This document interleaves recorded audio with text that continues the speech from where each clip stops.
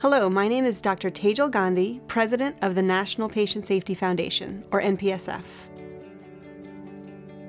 We want to be the global leader in patient safety by bringing together patients, providers, industry leaders, and policymakers to drive improvements in patient safety. Our key goal is to create and disseminate new knowledge about patient safety broadly. We do this by having the Lucian Leape Institute at the NPSF, which is a think tank named for the renowned patient safety leader, Dr. Lucian Leape. At the think tank, we convene national experts in patient safety from around the country and the world to talk about key safety issues that we want to change or advance. For example, we would convene roundtables on topics such as patient engagement. How do we better engage patients in their care? How do we train physicians to deliver care more safely? How do we ensure that the workforce is safe? Without that, we cannot have patient safety. The Institute then releases reports on these key safety topics, and those reports are disseminated widely and have influence both at the local level on local leadership, also on a national level for policymakers, and then hopefully impact on the global level as well. What are we talking about when we're talking about patient safety? We're talking about medical errors that harm patients.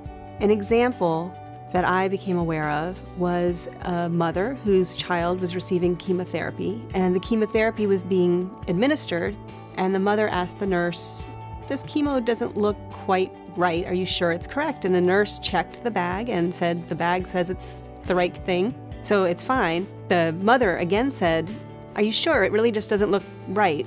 And the nurse again checked the bag, uh, and it said the right thing, and she said, Yes, it's right. And the child actually did receive the wrong chemotherapy and ended up dying from that medical error. And so, what we really try to do in patient safety is think about well, what is that process for how that medication was created, and how do we change the system and the process so it doesn't happen again, as opposed to just saying, well, fire that pharmacist or fire that nurse, which never will solve the problem. The work of NPSF is really critical. One day, you, me, or someone we know will be patients, and we want to make sure that they are not harmed by healthcare. And so the work of NPSF is really working to make sure we deliver the best, safest care without harm.